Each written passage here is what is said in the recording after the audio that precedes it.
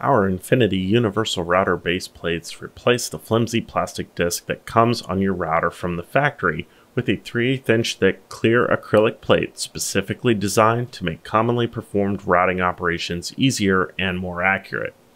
All Infinity Universal base plates are pre-drilled for most full-size routers and are compatible with Porter cable style guide bushings. Available in three styles a 7.5 inch round, a D handle with removable guide fence, and a 12 inch square, these base plates are available individually or in a money saving three piece combo pack.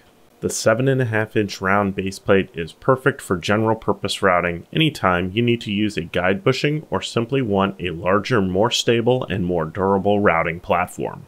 The D-handle base plate has a teardrop shape and built-in fence. The fence can be used to follow the edge of a straight or curved workpiece.